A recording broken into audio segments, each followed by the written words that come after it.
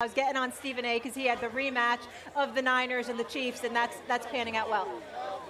How good is this Ravens team actually, especially Yeah. when we look at the offense? The problem is the Ravens team is incredibly talented, but the problem is they're doing things that they never have done before, and they have some new issues along their offensive line. They're not able to run the ball the way that they were in the past. They're not able to protect Lamar the way that he needs to, and they actually it's in pivotal moments. So like they protect him well until you need to on third and protect seven. You know those are the pivotal moments that we need from them. And on the defensive side of the ball, they're giving up big plays. Yeah. And they have most of their personnel back with Hamilton and Smith and Madubuike, but they're missing the edge rushers, and I think it's really debilitating this defense.